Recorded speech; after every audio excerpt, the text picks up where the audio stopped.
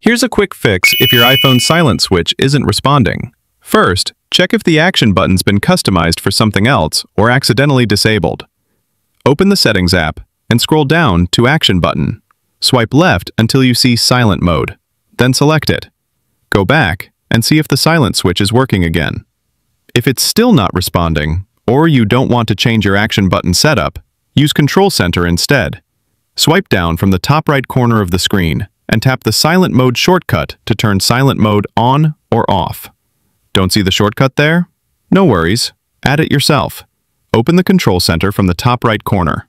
Tap on Plus button and add shortcut. Search for Silent Mode and add it.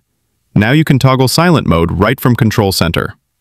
Another option is to open Settings, scroll to Sounds and Haptics, and turn on the Silent Mode toggle to mute your iPhone.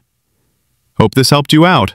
Don't forget to like, share, and subscribe for more free tech guide videos.